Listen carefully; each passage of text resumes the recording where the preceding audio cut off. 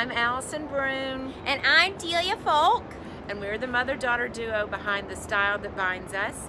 We're very excited because it's Bridal Fashion Week for Spring 2020. So come along with us as we see what's going to be the latest in bridal fashions for Spring 2020. Know for a fact that you're happy uh, now. Hate that I treated you badly. Not much to do except apologize.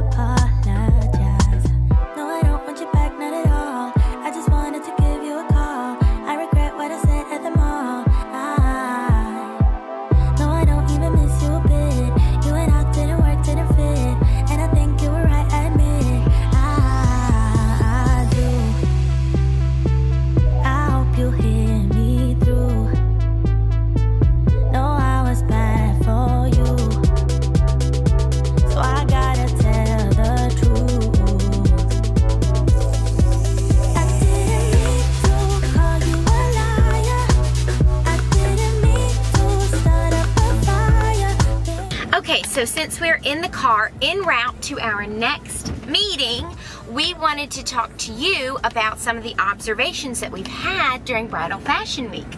So, one of them is that even though there are so many white dresses, and all I'm thinking since I'm not getting married anytime soon is that I want to wear these to all of these galas, black events, maybe in another color, or maybe white, especially some of them are classic beautiful wedding gowns and a lot of them are sheer and sexy and lots of sequins that would be perfect for these galas. Right, right, yeah. More so than maybe for a wedding, Maybe. right? Depending on the person. oh, absolutely, yeah. Not for you, yeah. Oh yeah, and then another thing is that so bridal fashion week it's like how the Yves Saint Laurent shows used to be. So it's Dior. and Dior, it's very a small, intimate setting. The designer is usually there talking you through the collection, and it's such a small group. You feel like you know everyone in the room by this point because you see them at all the shows, and they really each model comes out and they walk you through and, and they tell the inspiration and about the fabrics and all of that. Baby,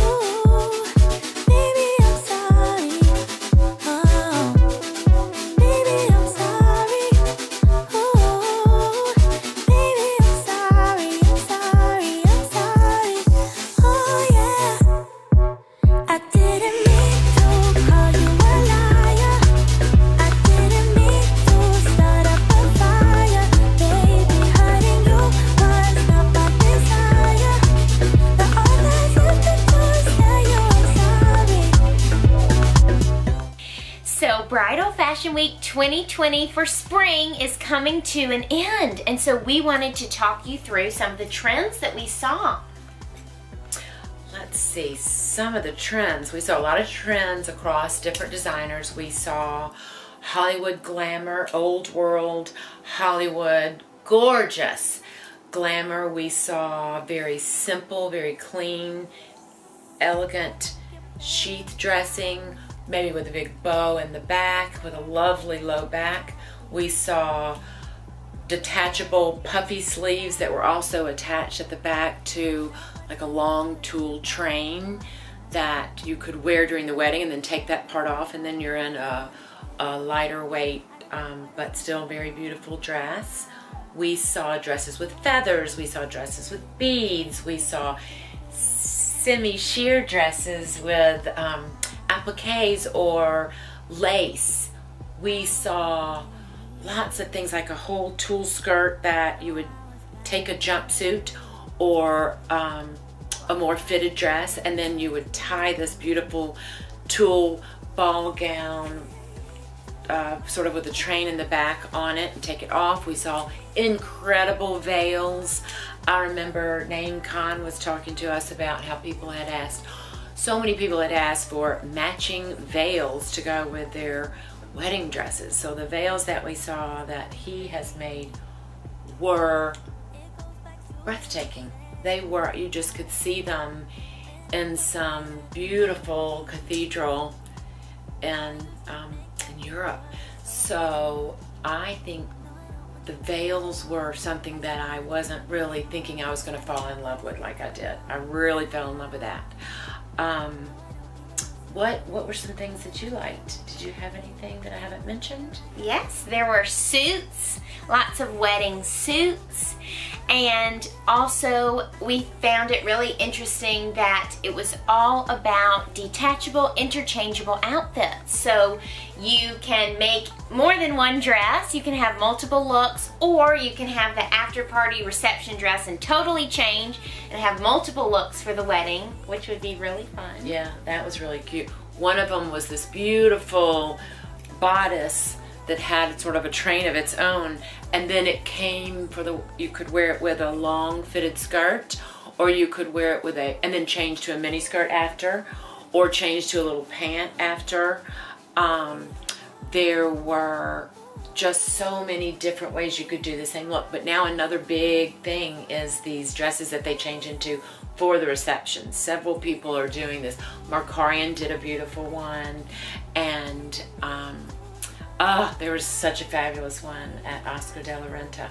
They are, you wear the long gown, the traditional sort of gown to your wedding, and then at the reception you put on this really fun, like the Naeem Khan feathered one that um, is just all about having fun. You're, you're married now, and this is your party, and so, um, so that's really a fun trend, and I don't think that's going anywhere anytime soon and lots of corset bodices. So it almost looked unfinished Mm-hmm. because you would think that would be the underneath portion, but we saw that at pretty much every single Mm-hmm. brand. Most definitely. So there's really, really, really a dress for every body type.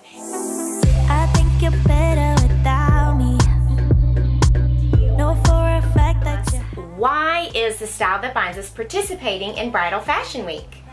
Well, what we offer are two things primarily. One is personal styling, one on one, and then the other is bringing information to our audience. So, for personal styling, obviously it's important. We have a lot of brides, mother of the bride, mother of the groom, bridal party, wedding guest, all of that. So, it's important for us to see what is coming next in that world and all the hair pieces, the veils, the dresses, all of it is important for us to be in the know on. And then for people who are not our personal clients, but may be getting married soon or in the next year or have someone close to them that is, this is a good thing. You can come and watch our videos, follow along with us, and get all the information that you would need to know. And you can always direct message us or anything if you have more questions or want us to cover something specifically that we haven't covered yet. when you said you like me.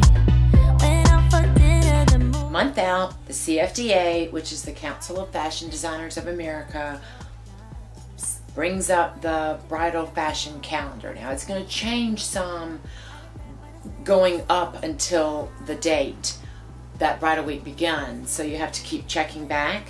But we look and see what shows, what presentations, who's having market appointments. It's all on the calendar.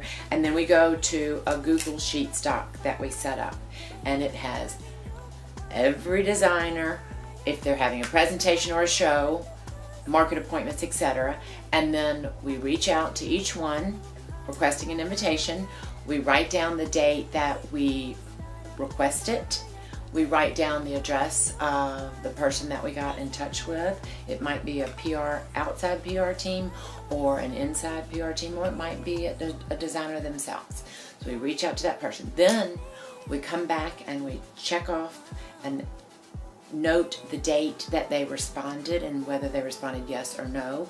It's all color coded with notes to reach back out, etc. For example, we just got um, an appointment that is already set in stone, and then sometimes the day of the show, we might get an invite last minute and we have to sort of rearrange the schedule. But our goal is to not overlap things and make sure that we're able to see everything. So the Google Sheets help us keep organized and it's very interactive. We use it going forward right right through till the end of Bridal Fashion Week.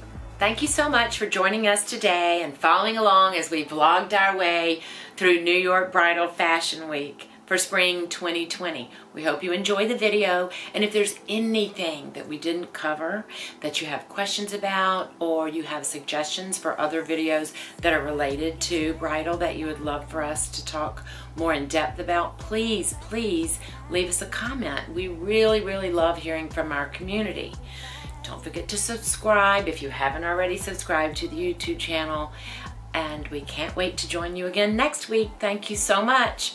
Bye. Bye.